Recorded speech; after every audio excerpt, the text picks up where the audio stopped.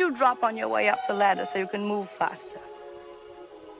You forget you'll need them again when you get back to being a woman. The lovely Bette Davis was an iconic American actress renowned for her distinctive talent and captivating screen presence. However, although years have passed since she left our world, it seems her daughter does not want her to have a blissful rest in the afterlife. The legendary actress was known for a lot of things, many of which are controversial, but no one ever expected her own daughter to reveal such dark secrets as she did years after her mother died.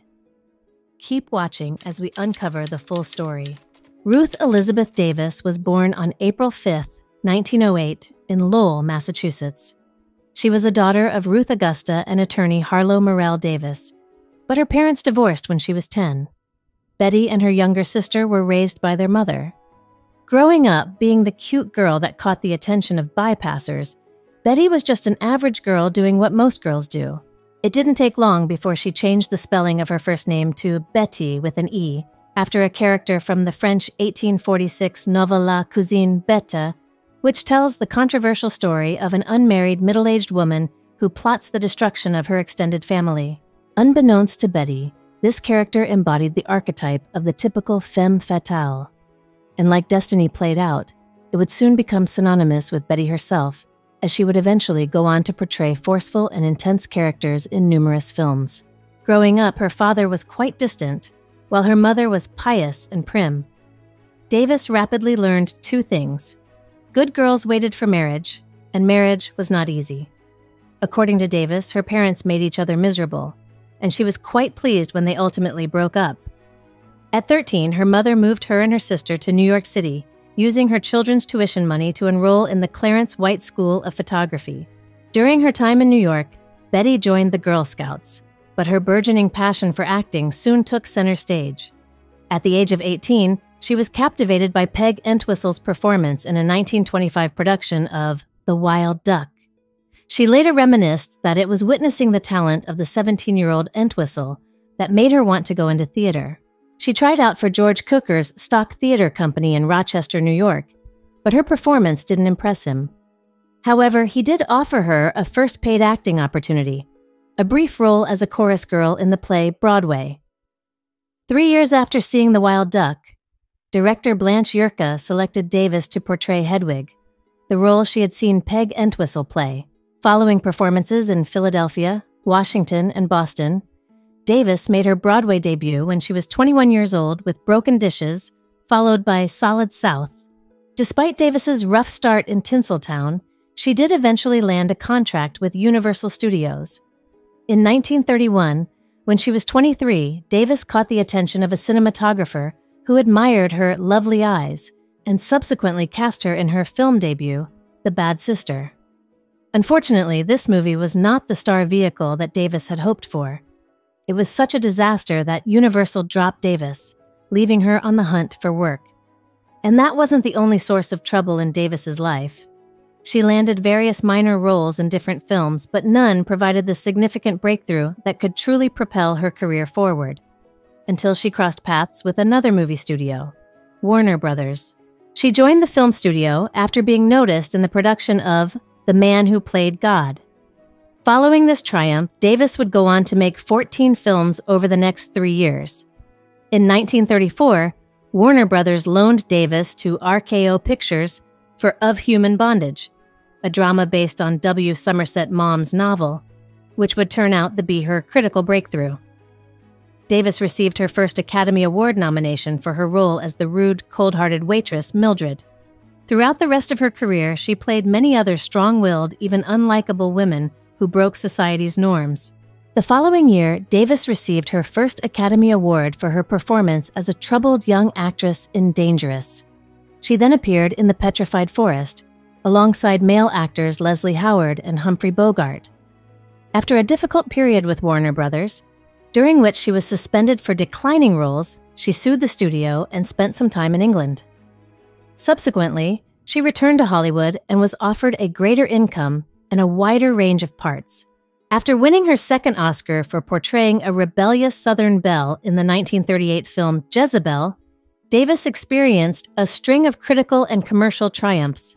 Uh, she tackled roles such as an heiress confronting a terminal illness in Dark Victory and portrayed Elizabeth the First in The Private Lives of Elizabeth and Essex.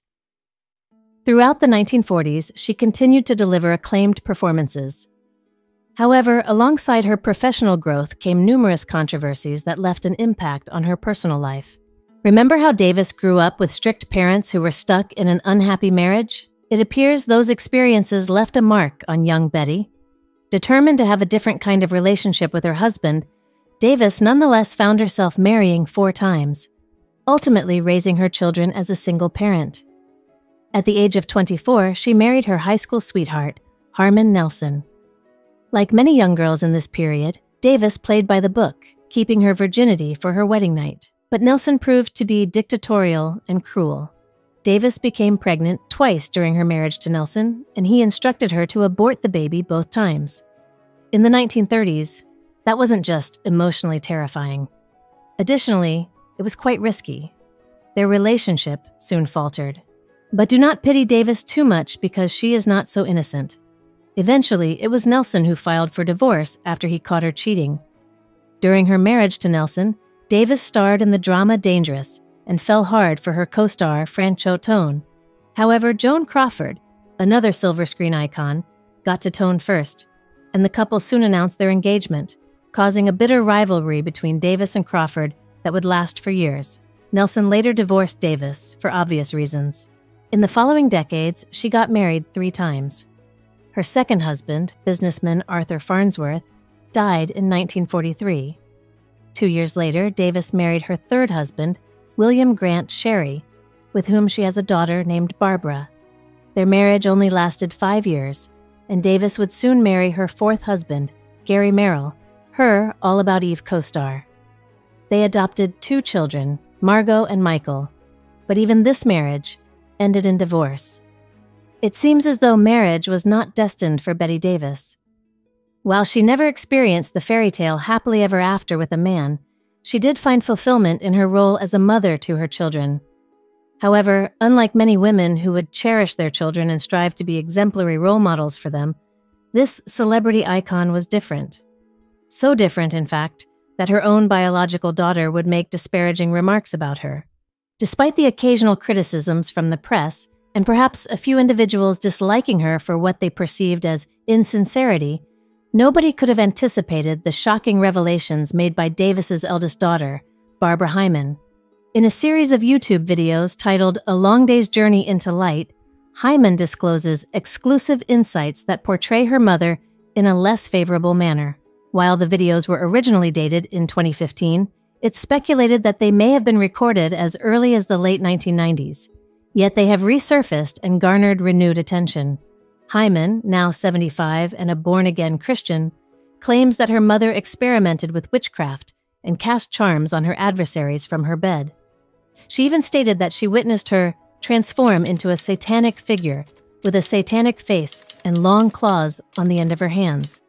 Hyman presented these stories more than 26 years after her mother died of breast cancer, implying that she is still furious about her toxic relationship with Davis.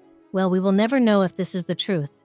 It is no news that even while Davis was alive, she and her daughter never saw eye to eye.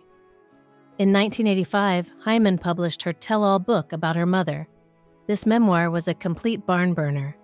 It effectively ended Davis and Hyman's relationship. After it was published, the mother and daughter never spoke again. Why? According to Hyman, her mother was a violent alcoholic who frequently harassed her children.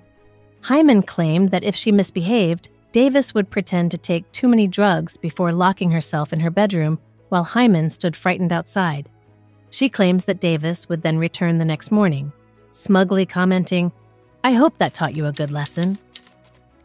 Bette Davis's later years were marked by intense family tensions, sparked by her daughter's publication of the Tell All book, which was then countered by Davis' own memoir disputing its claims.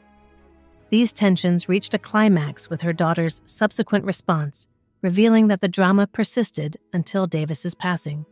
Bette Davis suffered serious health issues in the 80s, including breast cancer, four strokes, and paralysis that worsened following a mastectomy. However, Despite her deteriorating health, she maintained her customary strength and control. turning down her son's visit to spare him the sight of her frail state. When Davis's cancer returned in 1989, she endured her final days with dignity and died on October 6th, leaving behind a legacy of resilience. Bette Davis's will sparked controversy since she divided her fortune between her adopted son Michael and her assistant, excluding her daughter Hyman from any inheritance. Perhaps this is why Hyman is still bitter today because, as a Christian, shouldn't you all be forgiving? That was it for today's video. What are your thoughts? Do you believe Hyman and her wild accusations? Let us know in the comments section, and don't forget to subscribe to our channel.